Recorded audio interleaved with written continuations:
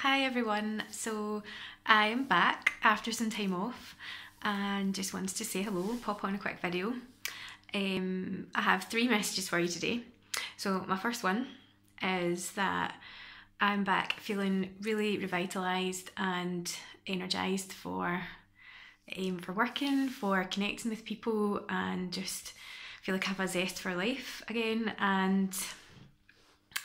I just I just wanted to share that that I feel that that has come from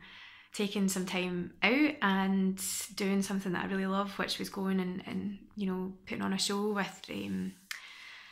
um, at the Gaiety with a, a company called um, Ayrshire Amateur Operatics. Anyway,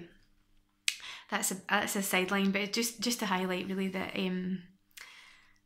that has has given me um, this energy now and I just wanted to share that with you that sometimes we need to take a bit of a step back to be able to, to leap a bit higher.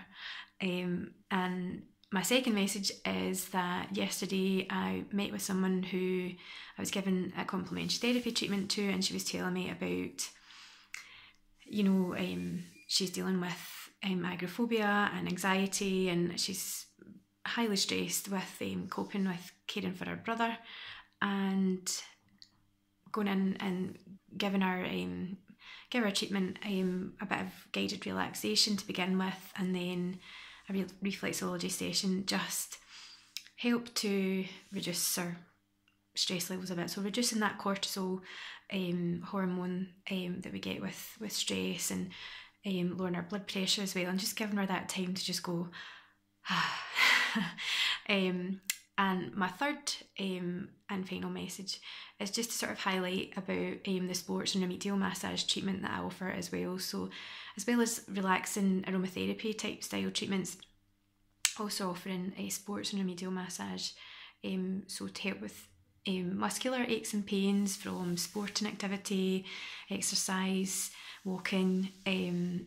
and there's a range of different techniques I can use, um, massage being one of them, but also mobilisations and passive movements, and assessing, um, you know, at the end if, if the treatment that I have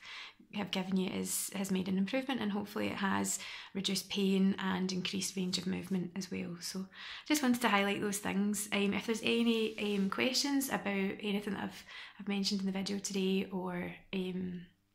you'd like to book in, just let me know. I'm looking forward to hear from you. Speak to you later. Bye.